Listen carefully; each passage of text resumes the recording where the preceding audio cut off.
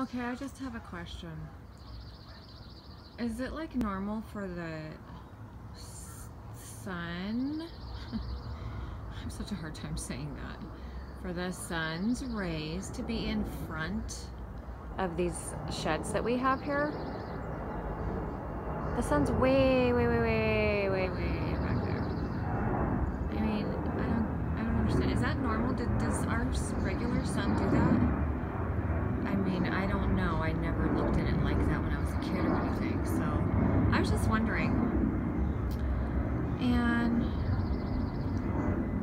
the nice double ring that's always around it, you know. Isn't that special?